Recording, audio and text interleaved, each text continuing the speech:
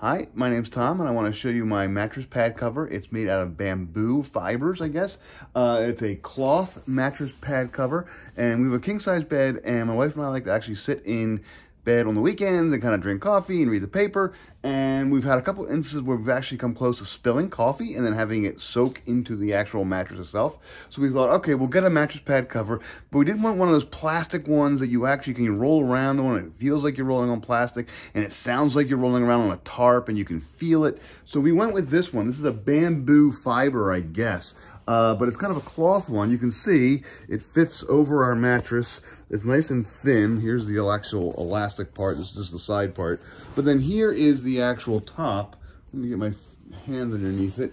There you go. Uh, you can't see through it. It actually has a, it is a, a liquid proof or waterproof kind of a cover. It does protect things, protect spills.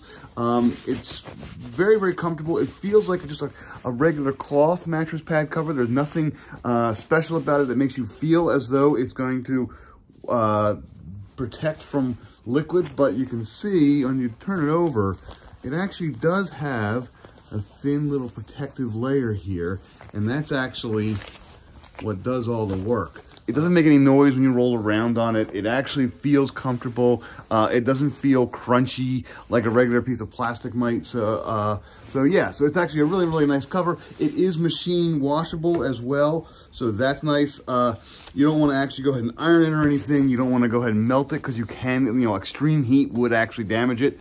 Uh, but there's no need to worry about that. Uh, it's really a, a, nice mattress pad cover. We've had it for about three weeks now. Uh, it's very comfortable. We like it a lot. So yeah, I highly recommend this.